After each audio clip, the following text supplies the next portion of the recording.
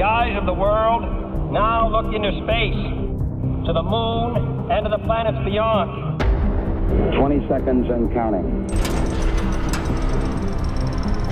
And we have vowed one mission Ignition sequence start.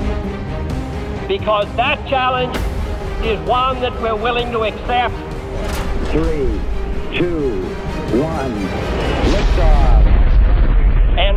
intend to win. Here's Martin to drive and stops. Inside Capela. Westbrook like a runaway freight train. Oh, Chandler. Austin Rivers great move inside.